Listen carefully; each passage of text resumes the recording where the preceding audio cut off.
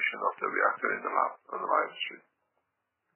Once you start, and if you can reset the whole system the way it is now, and then put the, what do you call it, uh, the new reactors of Marco and Harman one behind each other towards it, you will see magics and you, uh, you try to get the world of science to explain it.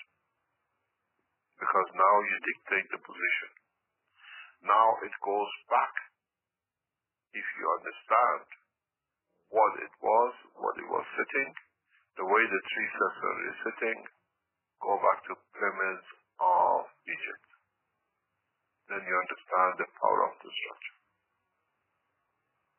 The three were like, and they are, a copy of the pyramids. Each center plasma, because each one of them had a free plasma in the structure. The minute we added the fourth reactor into this middle structure, the 120 Tesla and the lift of the motions of the weight and everything else start manifesting itself. Go back onto the recordings, you understand. So if you look at it, if you understand it, the reactor set one, which was hanging, the copper one, was just, even though small, was brought at the same height as the other two sets, more or less. We created the same condition as I've explained before, the effect of the pyramids. Look at the pyramids around the universe. You have three reactors in line, three pyramids in line. And then you will see the power of it. Some pyramids have four um, four reactors work? I've got one combination with four. We're thinking Yeah. back to instead. So the fourth one is your, once you put three in line, you have to have a fourth one. It's like a forest now formation.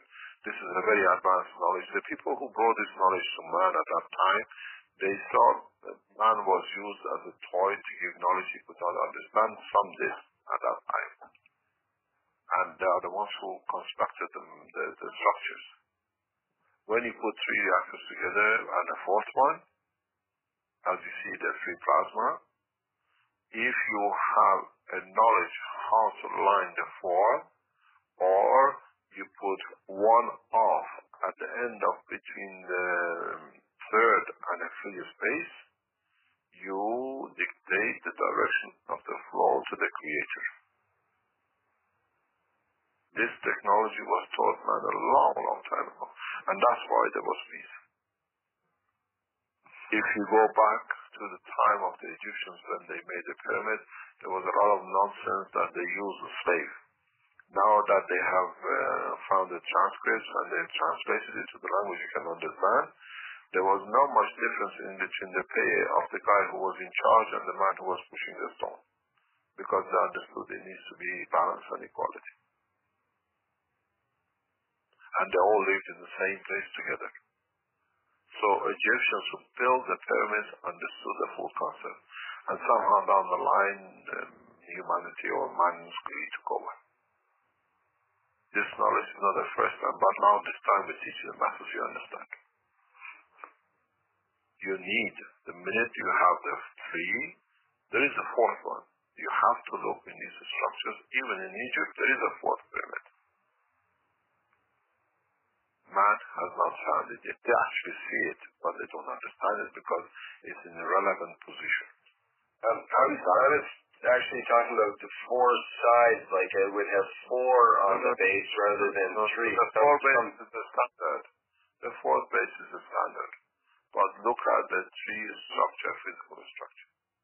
When you put a four base on top, you have a weaker structure than the tree. That's right.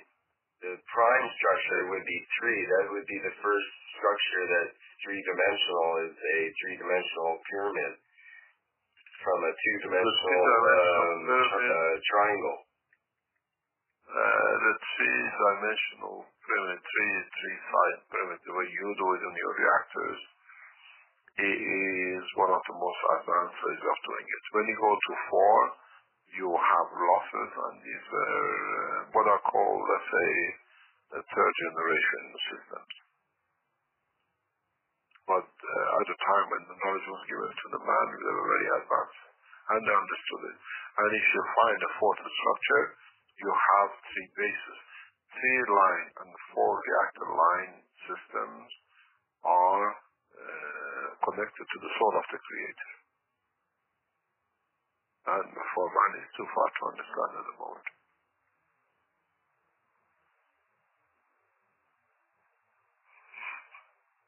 To be related the structure of, to if you look at the structure of the human body, if you look at the structure of the human body, you see it.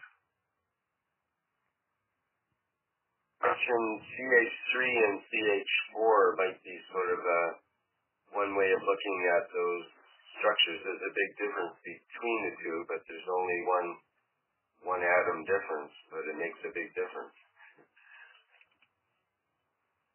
Look at the plasmatic structure of each and understand why CH3 is more towards color of orange reddish.